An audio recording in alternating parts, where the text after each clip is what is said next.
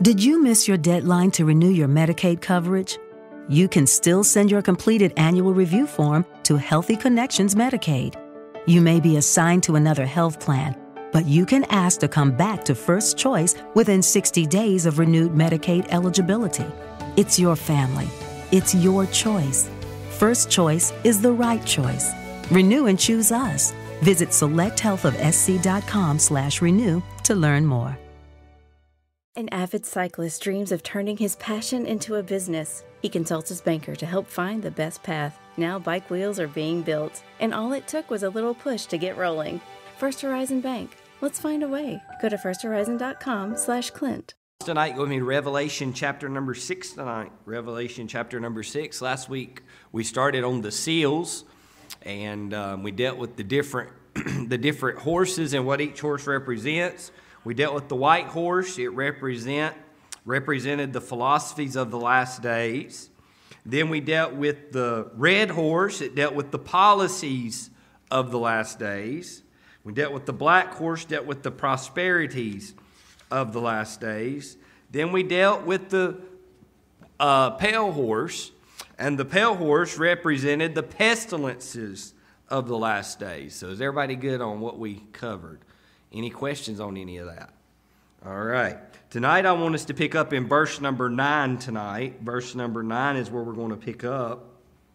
And I want to deal with the fifth seal tonight, and it's the persecution of the last days. The persecutions. The Bible tells us that in the last days, the last days shall what? Wax worse and worse, right? And we shall face many persecutions. And persecution just doesn't come by somebody beating on you or somebody killing you, but persecutions can come in many different ways. Persecution can come in accusations, persecutions can come in somebody trying to ruin your character, persecution can come in someone physically harming you, spiritually harming you, mentally harming you. Persecution can come in many different ways. When Paul had the thorn in his side, God, Paul asked God three times to remove that thorn. What did God tell Paul? He said, No, I'm not going to remove the thorn, but my grace will be sufficient for you. And as we get into the last days, we are going to face persecution. And Paul counted it a privilege to face persecution. He glorified God in his persecutions. Think of all the different persecutions Paul, Paul faced throughout his ministry. And when you think about that tonight, we're not exempt from persecution. So we'll get into that tonight, all right? Verse number nine. When everybody finds their place there, say amen. All right. And when he had opened the fifth seal, I saw under the altar souls of them that were slain. Notice this for the word of who? God, and for what? The testimony which they held. And they cried with a loud voice, saying, How long, O Lord, holy and true, dost thou not judge and avenge our blood on them that dwell on the earth? And white robes were given unto every one of them. And it was said unto them, that they should rest for a little yet uh, for a little season until their fellow servants also and their brethren that should be killed as they were should be fulfilled when we see verse number 9 through 11 we see a glimpse of the persecution that is at hand we're already living in a day of persecution Go to China and try to go to church in China. How will that work out for you? Not too good, right?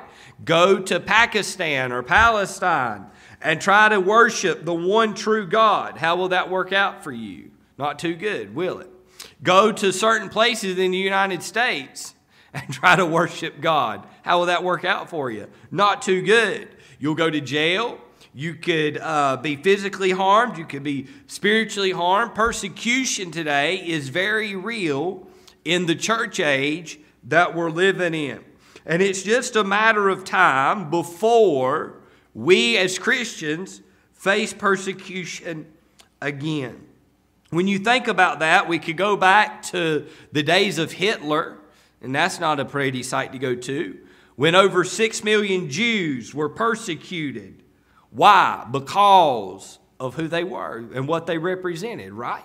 And because of that, we went into a war to fight for them, the mass murder. We see evidence across the different days of different deeds. We go back to the old days. We had, uh, uh, what was that queen's name? She was known as the Bloody Queen. What was her name? She killed everybody. Mary. Wasn't her name Mary? Bloody Mary. That was her name, was it not? And she hated Christians so much that she crucified some, she burnt some, she killed so many different Christians. That was the reputation that she had.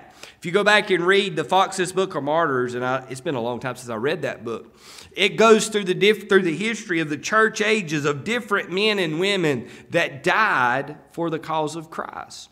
We wouldn't have our Bible today had it not been for the martyrs that stood for the Word of God. When you think about that, the first Bible that we had, the first Bible that when it was printed, the man that printed it was burned at the stake for translating the Word of God from Greek and Hebrew to English language. And during his burning, someone, he, not someone, he threw out one of the Word of God. The Bible was being used as his kindling for his fire, okay? And during that time, his ropes break, and he picked up a Bible and he threw it out, and someone else grabbed it and took it and kept reprinting the Word of God, and they were persecuted, and the chain of effect went on. Pretty soon, during that same time frame, England slacked up, and England said, "quote We will let you have one Bible per town, and guess where it'll be? It'll be chained to the pulpit of your local church." And that was the only Bible in the town, chained to the pulpit. We're in a day and age now that we can get the Bible on our phones, our computers, on we can get it virtually anywhere.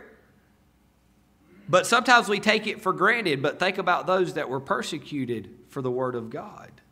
Think about today if you stand for what is right, the persecutions that take place. You speak out against homosexuality, you speak out against different sins. We become persecuted for that, right? They want to have their riots, they want to have their wars, they want to come out and they want to have their parades. And all of that is okay, but when you stand up and say, hey, that's not right, that is wrong, that's not biblical, what will they do? They will fight, they will want to persecute. And that's a dangerous spot to be in as Christians. But I'm glad to know today that all throughout the corridors of persecution, God always had a remnant of people to carry on his work. In the last days, there's not a remnant that is left. When you get back to verse number 10 to, or verse number 11 tonight, God rewarded these that were, give, were in persecution, he, and white robes were given unto every one of them. And it was said unto them that they should rest yet for a little season until what? Their fellow servants also and their brethren that should be killed they were should be what? Fulfilled. The time of grace has begun to run out. And God slowly, through persecution, at this point is taking out his light from the people that are in darkness. That's a scary thought to be in. A candle doesn't just go out on its own, but it slowly burns out. And when you think about that today, when God's dispensation of grace begins to end, He will slowly take out His light so that darkness will fill the entire world. Am I right? So when you see that tonight, there was persecution, but there was praise. Verse number 10, and they cried with a loud voice, saying, O Lord, notice this, holy and what? True. They seen his holiness, but they recognized his trueness. When I think about recognizing his trueness tonight, they found his trueness in his salvation, right? But not only that, they found his trueness in, their, in his grace. He found his trueness in his promises that he would never leave us nor forsake us. They found their trueness in the reward that they received when they entered into heaven. They found him as true. Dost thou not? Dost thou not judge and avenge our blood on them that dwell on the earth? They wanted judgment. And God says, I will take care of it in my time. Moving on tonight. Everybody good on that seal, the persecution? All right. Verse number 12. Verse number 12, the persecution of the last days. And then I want to deal with the panic of the last days. There's actually seven seals. Seven in the Bible is the number of completion. And guess where we'll find that seventh seal? I believe it's in chapter number seven, if I ain't ahead of myself. Maybe chapter number eight. All right? The panic of the last days. Preacher, where do you see the panic? Go with me to verse number 12. And I beheld when he had opened the sixth seal, and lo, there was a great earthquake.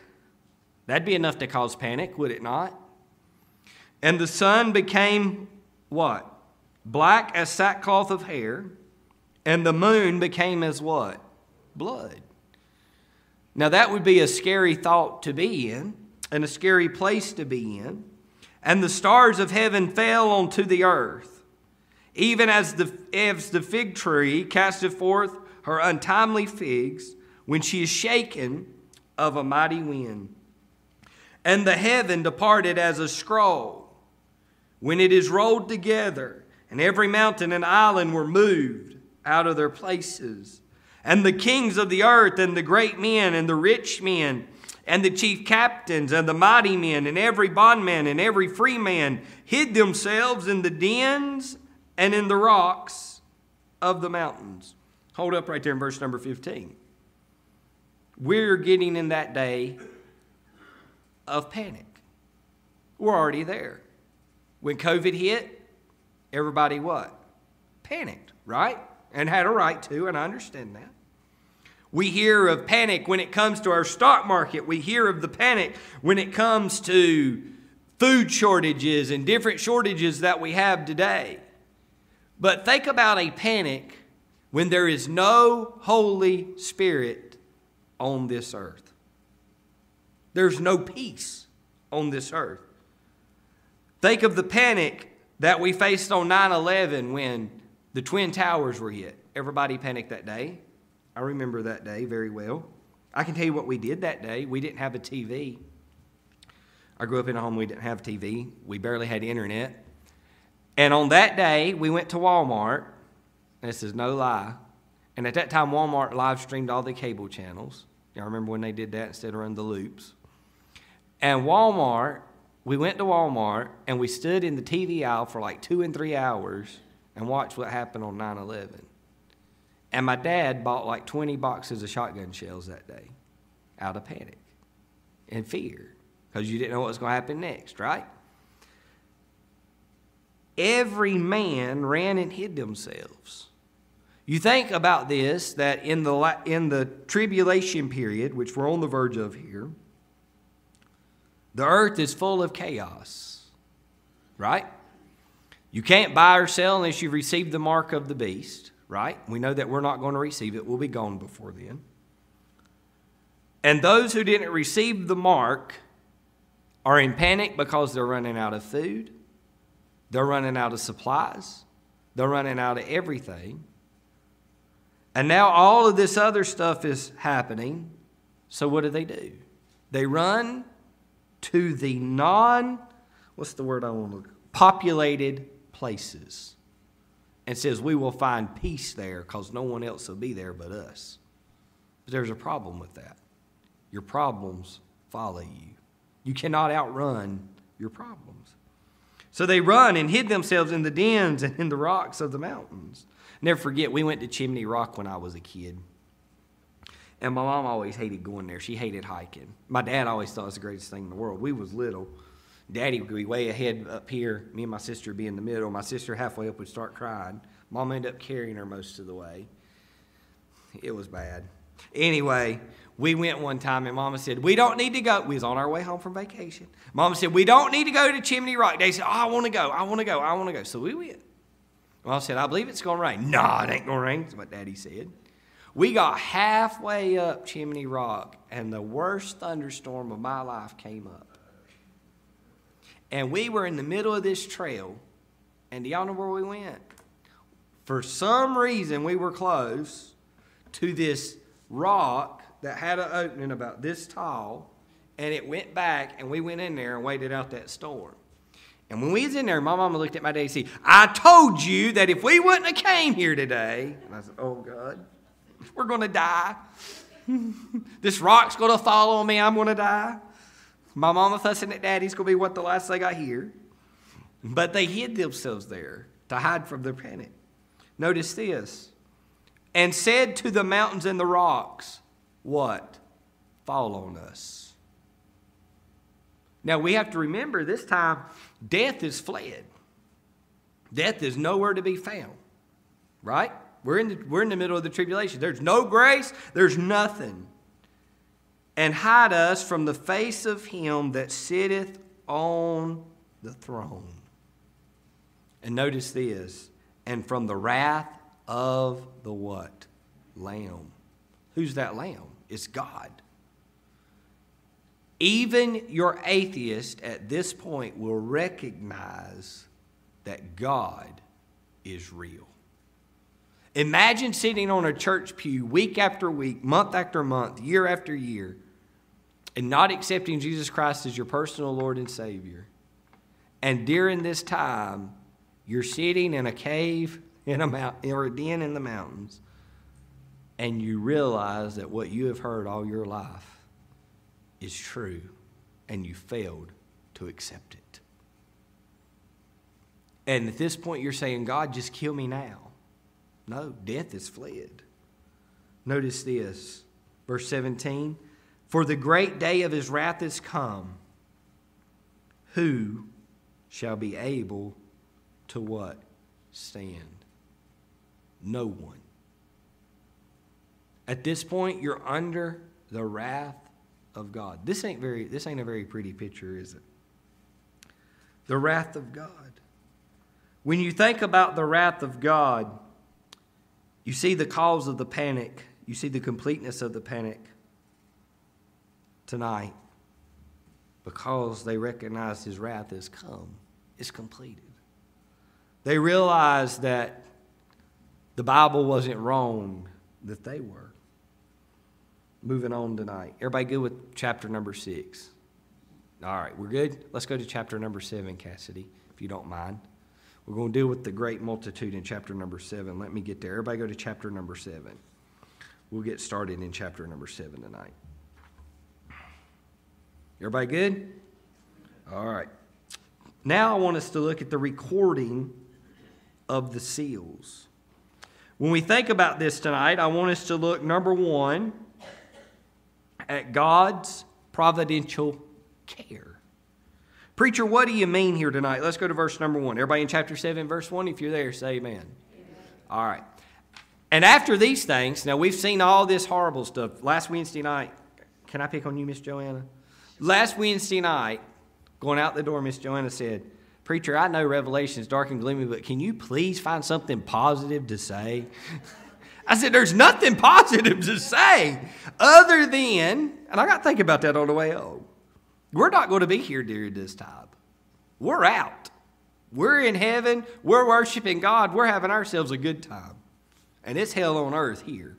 So that is the good thing. We've been saved by grace through faith, and we're going to be out of all of this. All right, moving on. And after these things, I saw four angels standing on the four corners of the earth, holding the four winds of the earth, that the wind should not blow on the earth, nor on the sea, nor on any tree. Now, could you imagine that, being where there's no wind? Now, I've been up on the roof of the fellowship hall this week. I got a good suntan from it, too. All right, I felt it. But the last two days we've been up there, there's been a constant wind back and forth. And it's been warm, don't, don't get me wrong, but there's been a breeze. I looked at Daniel today and I said, We're complaining about how warm it is up here, and these shingles are hot and sticky. I said, But imagine us being up here in the middle of July and there ain't a breeze to be found. Could you imagine going to the beach and there was no wind? That'd be, I want to uh, let's go. Let's go on Memorial Day weekend. Let's go this upcoming weekend. It's going to be in the 90s. All right. I looked at the weather at the beach. I thought about going, but I can't. I got too much to do. It's going to be in the 90s. All right? And going down there and sitting by the ocean, usually there's a nice breeze blowing, right? But imagine if the wind had ceased and there was no breeze. That'd be miserable, would it not? Nor on any tree. And I saw another angel ascending from the east, having the seal of the living God. And he cried with the loud voice to the four angels, to whom it was given to hurt the earth and the sea, saying, Hurt not the earth, neither the sea, nor the trees, till we have sealed the servants of our God into in their foreheads. You see here tonight that God is carry or is is providentially providentially caring for his own.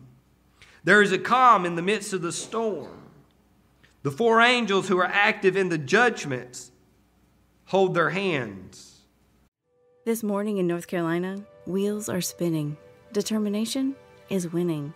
A passion is now a thriving business, and it shows no signs of slowing down. How? The power of a conversation, like the one Clint Spiegel had with First Horizon Bank about starting a bike wheel manufacturing facility in Asheville. Now it's not just talk, it's rubber meets road. First Horizon Bank. Let's find a way. Go to firsthorizon.com slash Clint. First Horizon Bank member FDIC. Further, tempts of fury and restrained by decree of God. Some of God's people, notice this, must be sealed before anything can transpire.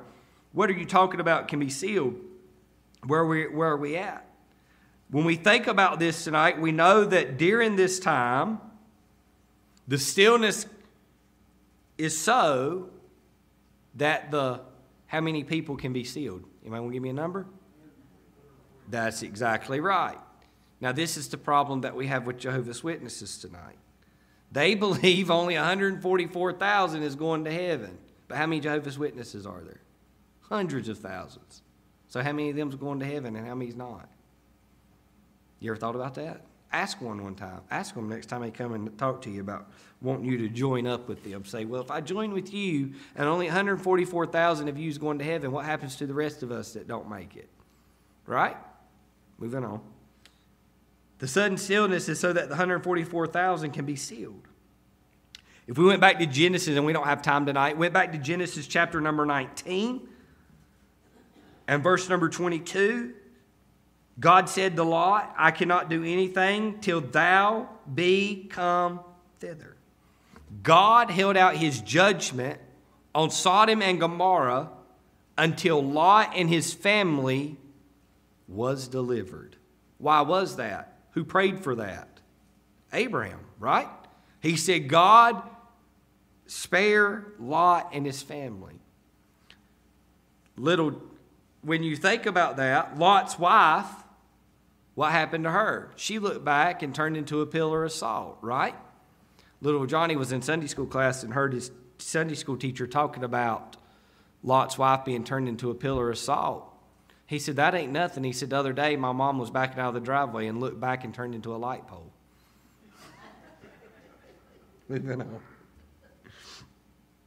God will not allow the great tribulation to fully develop until He has secured and sealed the remnant of the believing Jews. He cares for his own. Secondly, tonight, God claim God has a personal claim to his own. When we see this tonight, God has claimed us, right? Did that when he died on the cross for us. But now he's going back to his own people. The Bible says he came to his own and his own what? Received him not. Now the tribulation period is getting ready to begin. The 144,000 is being saved and sealed. God showed his care for his own, and now God is claiming his own. When we get there tonight, how do you know that, preacher? Go with me to verse number four. And I heard the number of them which were sealed, and they were se- and there were sealed 144,000 of all tribes of the children of Israel. How many tribes of the children of Israel is there? Twelve, right? So if my math serves me correctly, somebody correct me if I'm wrong, that would be 12,000 from each tribe. right? 12 times 12 is 144. Am I right about that? Man, I'm good at math. I should have been a math teacher. 144,000. And of the tribe of Judah were still 12,000. And of the tribe of Reuben were still 12,000. Well, this answered it for me. And of the tribe of Gad were still 12,000. And of the tribe of Asher were still 12,000. And of the tribe of Nephilim were still 12,000. And of the tribe of Manasseh were still 12,000. And of the tribe of Simeon were still 12,000. Of the tribe of Levi were still 12,000. Of the tribe of Issachar were still 12,000. And of the tribe of Zabulon were still 12,000. Of the tribe of Joseph were still 12,000. And of the tribe of Benjamin were still 12,000. And after this I beheld, lo, a great multitude, which no man could number, of all nations and kindreds and people and tongues. There's that word tongues again. That word tongues represents what? Languages, right? Stood before the throne and before who? The Lamb, right? So we see God has claimed his own. He's got all the Jews here. The, the 144,000 were sealed to defy the Satan's secular dominion. They are a reminder to him that every knee does not bow to Satan and that God is sovereign and is invincible in control. They are saved to deny the totality of Satan's spiritual dominion. Preacher, how do you get this? And lo, a great multitude which no man could number of all nations and kindreds and of people and tongues stood before the throne and before the Lamb, clothed with white robes and palms in their hands. Now let's go back. Where was another time that we seen palms? That's exactly right. What did they do with their robes? They threw them on the donkey to make a saddle for them. Again, this has come back full circle to everyone now that is clothed with white robes and with palms in their hands. What are they going to do here? Verse number 10. I'm ahead of myself a little bit. We'll go back and deal with this, all right? Well, let's go back. Let's go back and grab verse number 9. You want to break down verse 9 real quick? I got a little ahead of myself. I'm sorry. Their numbers were countless. The day of Pentecost was magnificent because 3,000 souls being saved on the church's birthday. That was the day that the church came into full effect, right? Christ was departed, God allowed revival to come. When we think about that tonight, when Nineveh re- experienced revival, an estimated about a million souls were saved. When Moses led the children of Israel out of Egypt, there were around 3 million people. Everywhere in the Bible that multitudes happen, God gave a number. But when we get to what happens when we get to heaven, the Bible says, which no man could what? Number.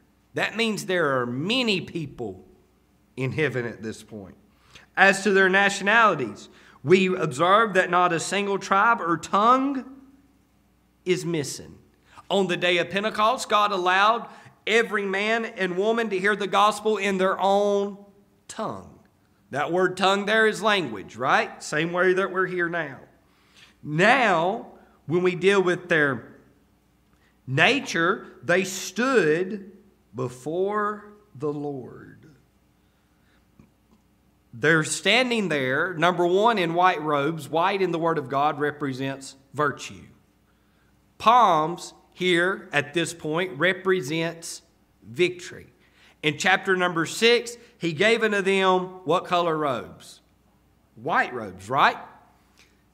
They were waiting on the rest of their brethren to get there with them. At this point, we're all together, right? And we have the palms, the palms here represents the victory of what they have overcame. The world said, We're going to kill them off. We're going to persecute them. And God said, That's fine. But what was it? Paul said, O death, where is thy sting? O grave, where is thy victory? Tonight we know that God has overcame death, hell, and the grave. For us to be with, for us to live is Christ and to die is what? Gain. Moving on tonight. Now let's notice in verse number 10 what they were saying. And they cried with a loud voice, saying, Salvation to our God, which sitteth upon the throne, and unto the Lamb. Number one, they were praising God for his grace. They said, Here, salvation to our God. They went back, I believe, in their memories to the day that God saved them by his grace. How they accepted, how they accepted him by faith. No doubt they remember the very first time that they heard the gospel and it all made sense. And they said, God, thank you, because God, we could be left on the earth experiencing what the rest of the world is experiencing. Not only that, but they thank God for his government. We're going to stop close to here tonight, all right? They thank God for his government. Why do they thank God for his government? They said, which sitteth upon the throne. Remember back in chapter number six, they cried out, O God, does now not avenge the bloodshed, pretty much? Now they're here and they're thanking God for his government, realizing that he has everything under control. Moving on. Now, do they think about God for his government? Again, they go back to salvation and unto the what? Lamb. Why thank God for the Lamb? The Lamb was slain before when? The foundation of the world. The Lamb came in man form by the name of Jesus, went to the cross, died for all of our sins. Why did they thank Him? Because they were martyred. They're in heaven not because that they were martyred, but they are in heaven because they accepted the gift of salvation. Does that make sense tonight? What the world thought that they were doing for evil, they were actually doing for good. Remember when Joseph looked at his brother and said, What y'all meant for evil, God meant for good? What the world with Stephen was stoned to death. What Paul and the rest of that crowd standing there, or Saul at the time, who later became Paul, was standing there watching Stephen die. And what they meant for evil, God meant for good for Stephen. The testimony of Stephen lived on. They know that they came through great tribulation and storms of life, not because of their works, but because of the Lamb. Verse number 11 And all the angels stood round about the throne and about the elders and the four beasts and fell on their faces and worshiped God, saying, Amen. Blessing, glory, and wisdom, and thanksgiving, and honor, and power, and might be unto our God. Notice this forever and ever. Amen. We see here that these men and women didn't worship themselves for what they had been through, but they worshiped God. We must remember, and I'm going to quit right there tonight. We'll pick up next week in chapter number seven. Mike, will you go get Trail Life? We must remember tonight that the reason we make it through what we make it through is not because of ourselves, but because of God. And we also must remember that if we will stay true to God, He will always stay true to us. And that one day, no matter if we die here on earth, if we go to heaven by the rapture, that everything that we have faced will be worth it all when we see Him. Any questions, any comments, any concerns? Are we confused on anything? We all good? We're good, say amen. All right, give us just a moment. They're going to get Trail Life. Trail Life has a small presentation for the church they came to me and asked me about tonight. I knew it was happening and I forgot about it. Imagine that, me forgetting something. Million things on my mind and I forget something.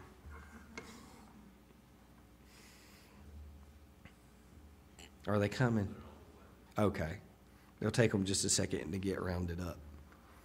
But everybody enjoying the book of Revelation so far?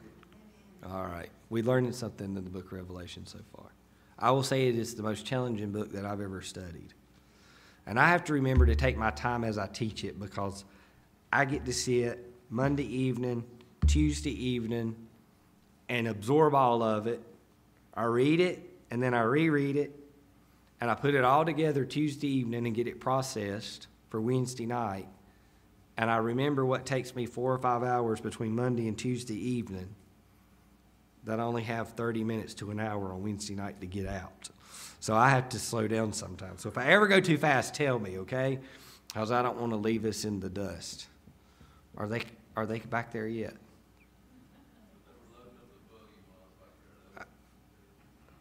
They're coming. Do I need a filler? Okay.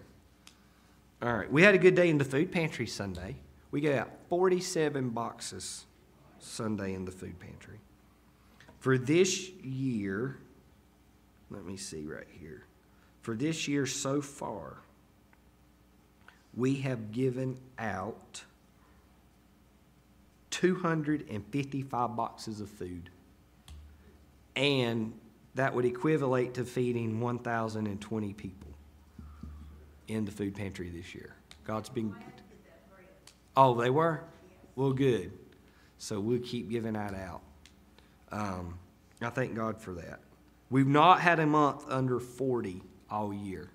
And last year we had several months under 40. So it's taken off. This time I'd like to ask Mr. Charles Jolly and Trail Life Troop 274 to make their way to the front. If y'all want to line up across the front right here. Speech. You can come up here. Charles. I think everybody can hear me without that. No, the live stream came. Oh. All right, just line up across here.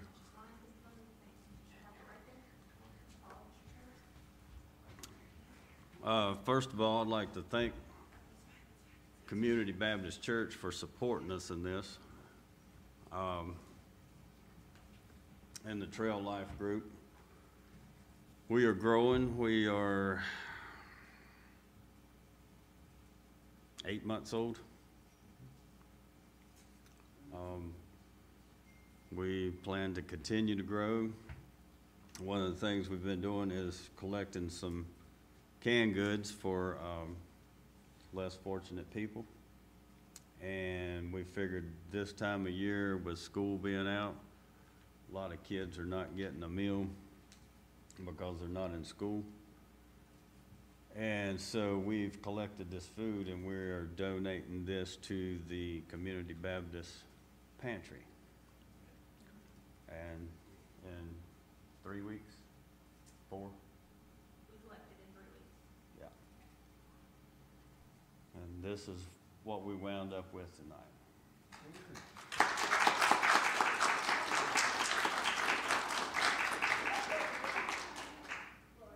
So these guys are all learning skills for the outdoors and life. Um, they're learning about God and community and how to help others. And we have many more events planned. Uh, we have a Krispy Kreme donut fundraiser coming up to help us try to get some uniforms. Um, but again, we just are very appreciative that y'all are supporting Trail Life and providing a place for us to be here. And what else? It's up to you. Use this mouthpiece. I don't know if y'all know this, but uh, God called me to to work with these boys, and I was working with my church, and uh, just coming into dead ends. And one day I get a phone call, and this guy says, "I'm Jonathan Smith. I'm pastor at Community Baptist," and um, I was like, "Never heard of you." And he said, well, I heard that you wanted to start a trail life group. And I said, well, I don't know you, so God must have told you. and uh, we formed a committee, and here we are. And we have other boys who are not with us tonight. We've got 12. We have ten that come pretty regularly, this is our group for, for now, and then we have two more that should be joining in August, and then we have three more that have attended two meetings, and they are interested in joining in August as well. So hopefully by the time our second year starts, which will be in August, we should have around fifteen to seventeen or so. So, And we just wanted to present this food tonight and tell you how thankful we are to be here. We appreciate it.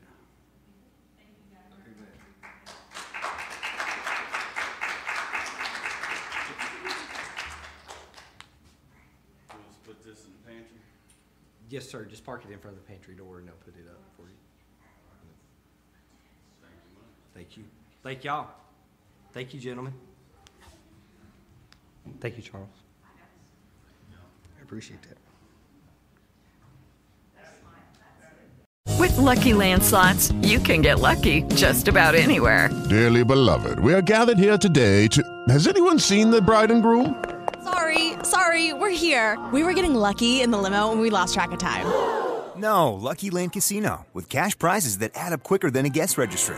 In that case, I pronounce you lucky.